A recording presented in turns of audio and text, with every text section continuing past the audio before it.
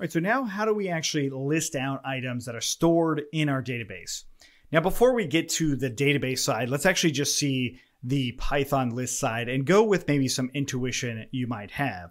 So if we go ahead and say my list and set it equal to some arbitrary list of numbers or array of numbers, you can call it a list or array, uh, but it's the idea is that it's a bunch of items in sequence in these brackets here. And so this list right here, I want to actually display it in my template here. So a way to do this is to say, well, let's go ahead and just say my list and string, and we can set that equal to an empty list. And I'm going to do it the beginner's way. So there's certainly a more efficient Pythonista way to do this, but I'm going to go ahead and loop through and say for x in my list. We're going to go ahead and just say my list string plus equals to an f string of number is, and then just simply x. Okay. So what we're doing here is we're converting this list into a long string and each string has the value of my or number is x and then it starts a new line.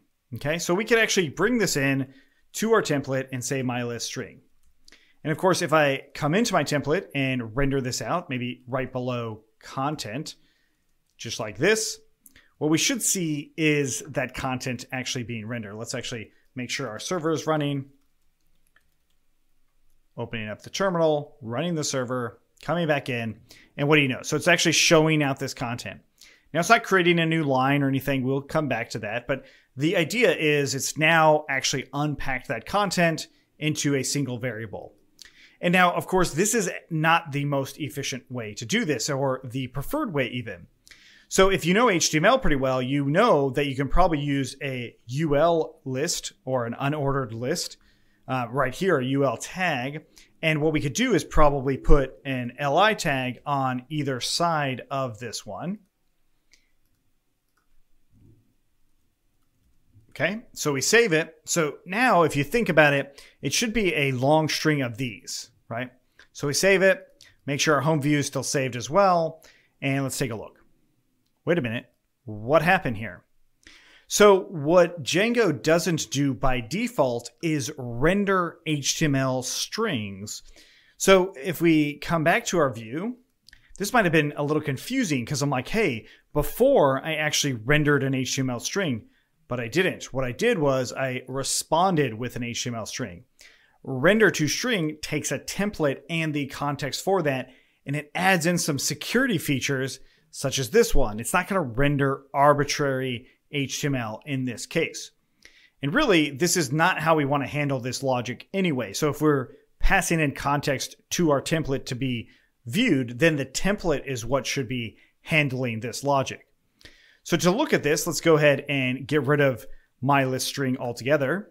And let's actually pass in my list as context now. So it's actually a proper list. And so we'll change our variable in here to just simply my list. And we can refresh in there. And what do you know? It actually renders out a list. It renders the brackets and everything. So that's pretty cool, but it's not quite what we needed. Instead, what we need is we need to be able to loop through this list. And you can do this using a for loop inside of the template, which gives it its own sort of programming language, if you will. So this is the template programming language for Django. So we can do for x in or for arbitrary variable. So this could be ABC, it could be my var, whatever you want to call it. But the idea is for x in this list, curly brackets just like that. So this is the start of the loop. Now, since this is a template and it's following a lot of, you know, HTML rules, not Python rules, but HTML rules, we need to denote that it closes too. So let's go ahead and close it off with end for. Okay. So this actually should make sense because inside of Python, you have spacing for stuff like this. So for X in my list, and you can print out, you know, X, right? So this is all happening because of spacing. Now, if there weren't spacing or if there was not spacing, just like the template, there is no spacing, even though I have it spaced out, but this works just as well as this does. Okay. So the spacing is a issue for us. So of course we have to close it off. And that's the same with the block content as well. And so now what I can do is actually render out that X variable or whatever that is. And here is where I can put in my HTML that I want to be rendered. And now it's actually a safe way to render out that data. I don't actually need a string any longer showing that it should be in a list element, an HTML list element. So I refresh that, and now it's actually showing up correctly. Now you might be wondering, are there cases where you can render HTML inside of a context, as in coming from the view? Can you do that? And the answer is yes. Of course, there's a way to do it. Um, that's just a little bit more advanced for us at this point. Okay, so now we know how to render out lists in here. Now, this doesn't only work for lists, but we'll just stick with lists for now because it's pretty fundamental. The idea now is how do I get something similar to this, but instead of it being something our hard code, but rather from the database?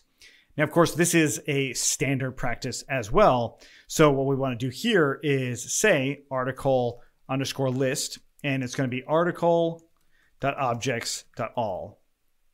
Okay, so article.objects.all actually gives me some sort of list here. And this list I can actually replace my list with. Okay, and we can also print out what that looks like. So let's go ahead and do both things. Okay, so if I refresh in here, now I'm getting article object one, two, three, four. So this is now showing me everything that I have stored in the database. And if you actually stored a lot more things, you will see a lot more data here. And this will take a lot of time if you have thousands upon thousands of entries or even millions of entries. This would take a long time to display all of those because it's literally getting all of them from the database. And so if we actually look in the terminal, we can also see that printout. Notice that it says query set here. Now, the reason it says query set is because this is not actually a list. It, it, behaves like a list, but it is not a list. It's called a query set. The reason it's called a query set is because instead of it having individual objects in here, you have other features that you can do to this. You you have other more advanced things. Like we can actually filter this down right on this so-called query set. And so that's a little bit more advanced than what we've got here, but we just want to keep in mind that we when we are trying to get a list of objects from the database or really through a Django model, right? So we've got this Django model, we want to get a bunch of objects from this Django model. That is called a query set. So not article list, but rather article query set. Okay.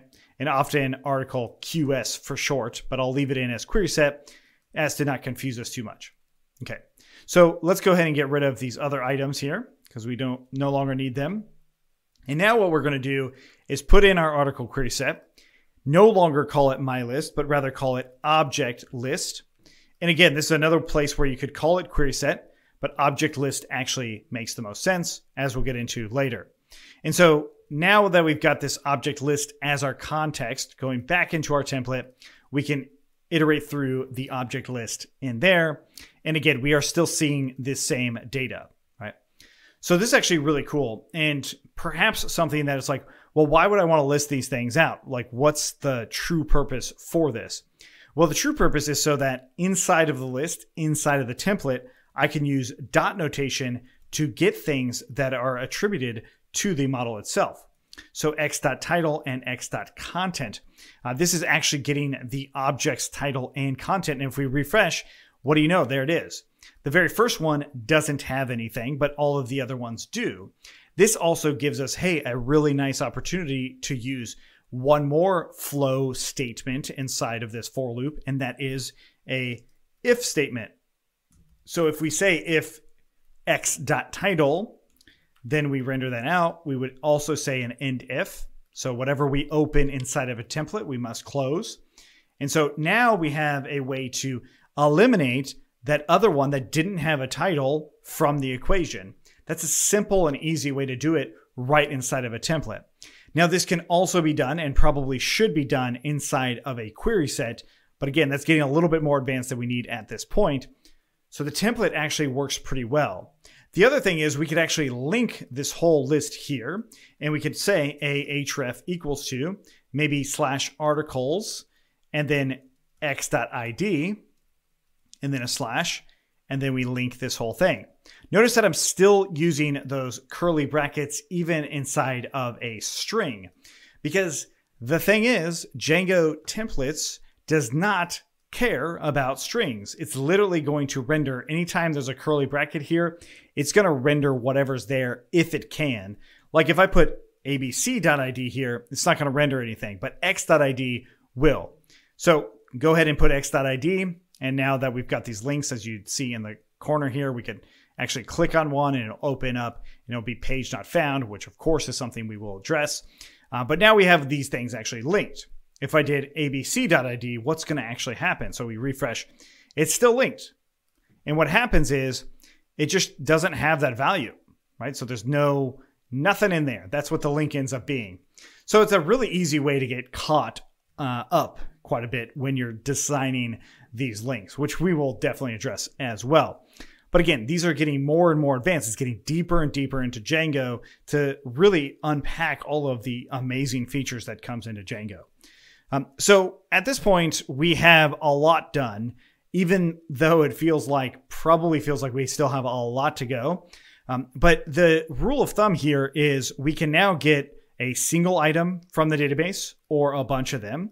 We can render them out as we see fit. We can also add them to the database through the shell, uh, the Python shell, as we did before with that reference guide, right? So we can add, we can read them, we can do all sorts of really cool things already. Now, this is the fun thing about Django to me is that we start to unpack more and more of these amazing features. And hopefully at this point, you're like hooked. It's like, okay, well, now I can see that I can build a lot of really cool and interesting things.